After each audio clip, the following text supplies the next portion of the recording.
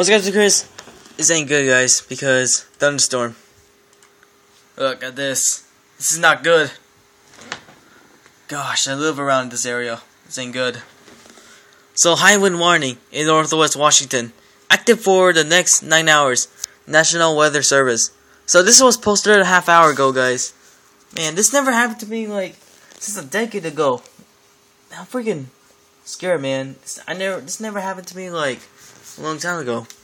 I had the same feeling though, like the power went off. Scared, you know.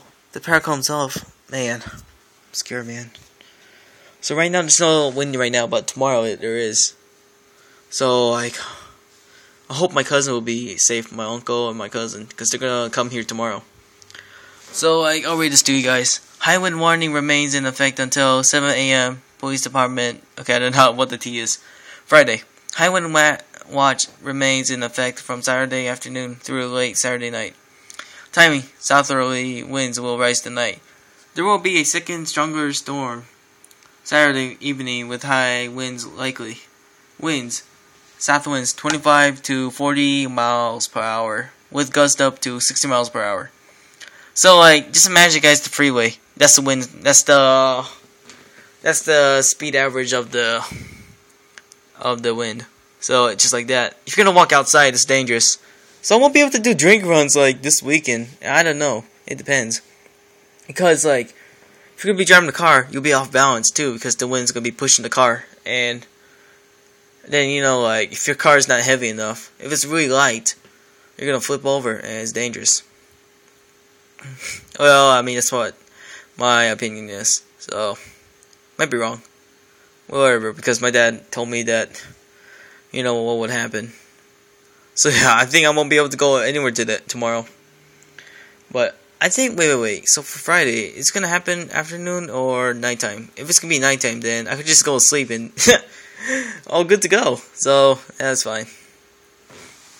Impact. This will be the first wind event of this magnitude across the Greater Puget Sound region and Southwest Interior. So like the uh, you know the Puget Sound region, the water's gonna be like crazy.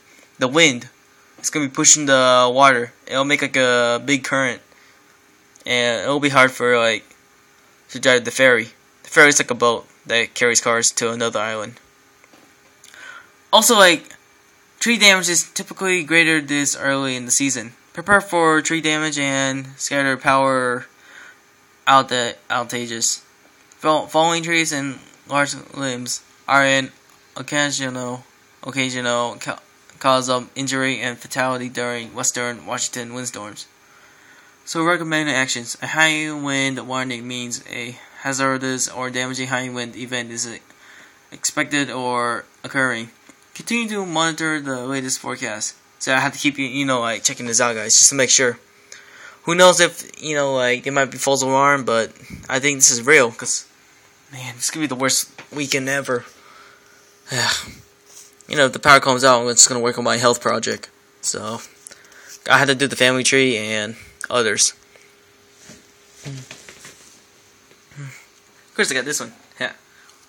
Also, I'm gonna bring like maybe soda for survival. So I'm gonna bring like my Bahamas like I don't know, but we'll see.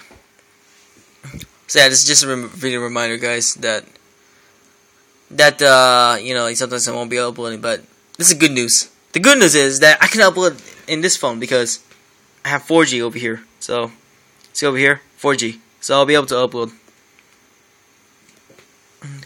But in this phone right here, I won't be able to upload because no 4G. I can't even do it. But I can upload in this phone, so I can you know update, make an update. Man, this is gonna be terrible.